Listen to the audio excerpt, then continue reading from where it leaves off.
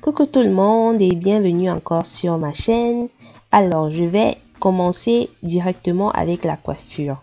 Tout d'abord je vais séparer mes cheveux car je vais faire un chignon derrière et le devant je vais simplement rouler. Et je te conseille qu'en séparant tes cheveux pour les coiffures, évite de chercher les raies parfaites parce que les raies parfaites vont te casser les cheveux, surtout si tu veux avoir les cheveux longs. Ensuite, je vais simplement peigner un peu ma devanture. Vous le savez, pour celles qui ont vu mes autres tutos, je suis pas trop gel. Bon, je pense que je n'en ai pas vraiment besoin, mais si tu aimes le gel, vas-y, mets ton gel. Et après, je vais simplement faire les, un torsadé.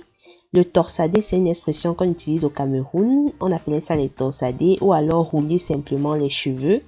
Voilà, j'aime les coiffures vraiment très simples qui me permettent de garder mes cheveux en état sans les casser. Ensuite, je vais continuer à rouler sur les longueurs comme tu vois et m'assurer que mon torsadé est bien solide pour ne pas que ça se détache. Et après, je vais fixer avec une coiffe au-dessus le temps de préparer mon chignon de derrière. Voilà, je vais utiliser cet élastique-ci euh, pour arrêter mon chignon. Je rappelle que je n'ai utilisé aucun produit pour cette coiffure. Mes cheveux étaient encore hydratés.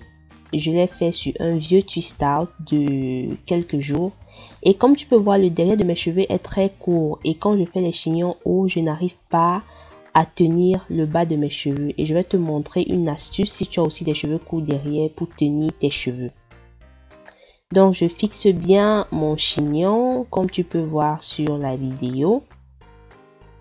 Et maintenant, pour ma chevelure de derrière, ce que je fais, c'est que je divise en deux et je commence à faire un twist.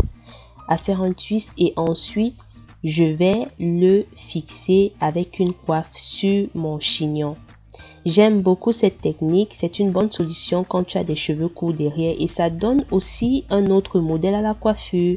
Donc même si tu as des cheveux très longs sur le derrière, tu peux aussi décider de rouler pour donner un modèle différent à ton chignon.